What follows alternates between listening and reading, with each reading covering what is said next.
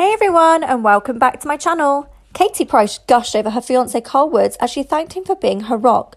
The two have been head over heels for each other since getting together in June last year and have been sharing their appreciation for each other online. Katie and Carl recently returned from a holiday in Las Vegas and have been waiting for her court date on December 15th. The former glamour model took to Instagram to show her gratitude to fiance, followers, and family for supporting her.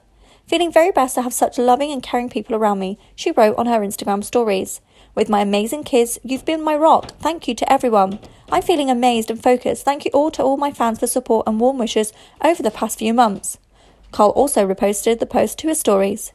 Katie and her fiance have vowed to have a wicked Christmas, despite the fact that she's due to be sentenced in court to hit 10 days before.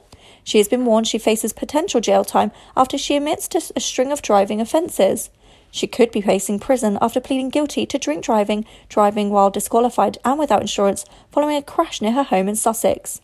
The 43 year old received rehabilitation treatment at the Priory Centre after telling officials she had taken drugs and should not be driving. She opened up about her struggle with mental health in the past.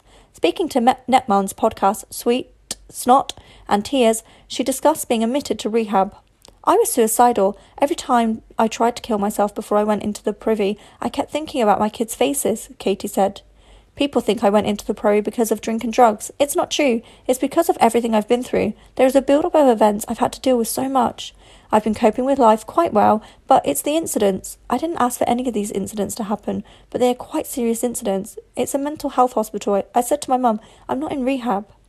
As December 15th slowly approaches, the star has been focusing on getting festive for the winter season.